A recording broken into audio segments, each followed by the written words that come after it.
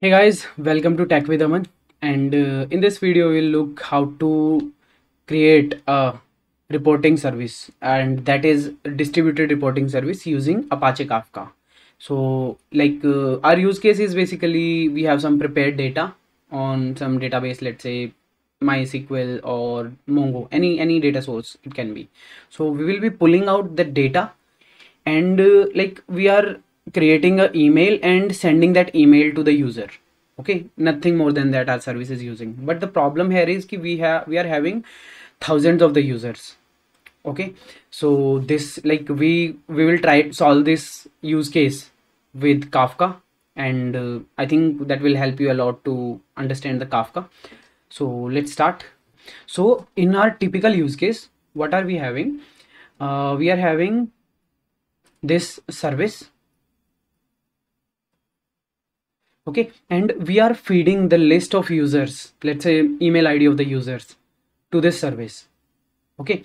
And this service is running in a loop. It is taking list of the users and running in a loop and pulling data from for each of the user.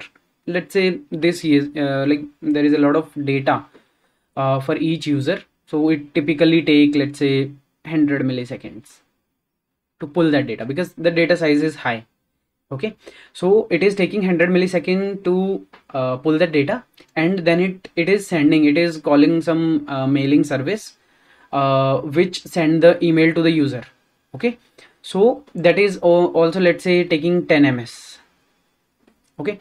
So it uh, we are taking almost 110 ms in this uh, use case for single user.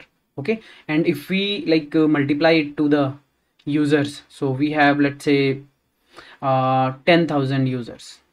Okay? So it comes out to be so it will take around 18.3 minutes to send all of this data.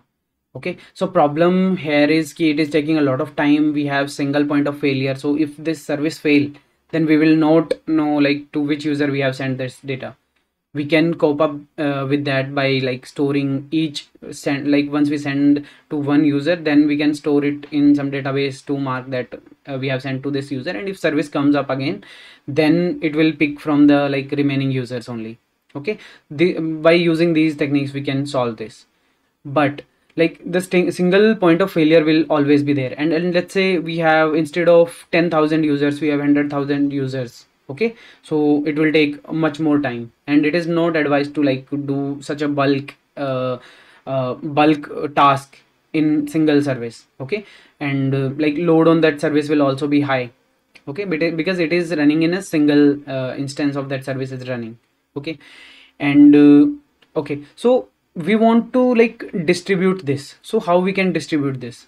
So we can use kafka here to distribute this okay let me show you that also. So this is our implementation using kafka. So what we have done here is key we pick the same uh, list of users and instead of processing all of that list of users and that is sending email to the user uh, what this service is doing it's just pulling pulling out that data and pushing it in a kafka topic. Okay let's say the kafka topic name is reporting here okay?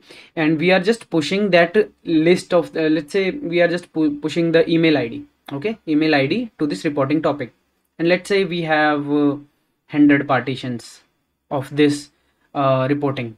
Okay? So we can send 100 concurrent messages or emails or whatever task. We can do 100 of them at the same time. Okay? And we have multiple consumers. Let's say this service is running and it is consuming from this to reporting topic. Okay? And it can be let's say we are uh, running 10 instance so each instance will make 10 connections uh, with kafka. Okay? So basically each instance will be consuming from 10 partitions of that topic. Okay? And uh, this this service will be doing the similar uh, activity it was doing earlier. So it was it will pull the data from the database and send it to the user okay? And whenever they send it they mark that uh, like they mark that in kafka that we have consumed that this and give me more data. So uh, it will pull uh, one consumer will pull one record that is one email id pull data for that from database and send email to the user. Okay? And let's assume here on also uh, it is typically taking uh, 100 millisecond here and 10 millisecond here so with the same example it will take uh, it uh, in earlier example it was taking 18.8 minutes. So just divided by 100 so it will take 0.188 minutes only. Because we have like parallelized that uh, sending process.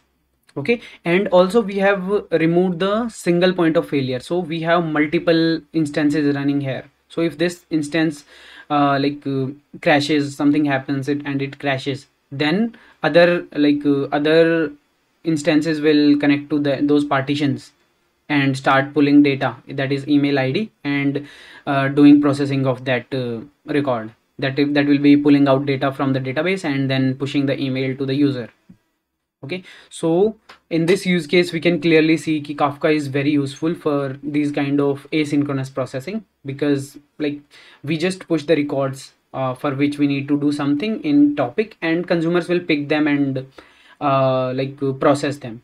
And one more advantage here is ki these let's say these services these um, containers or pods anything these can do other works also. Okay so let's say your service you are uh, uh, delivering some uh, content on these services. So we you can put the you can reuse existing containers to like put your consumers there and use this for sending uh, these kind process uh, reporting these kind of data. Okay? So that's all for this video and uh, hope you understand some things about kafka. If you like it please like share and subscribe for more content. Thank you